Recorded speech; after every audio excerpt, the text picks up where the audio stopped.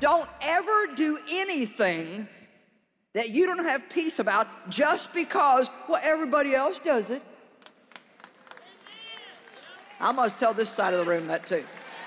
Don't. now, I'm serious. Don't ever do anything that you don't have personal peace about.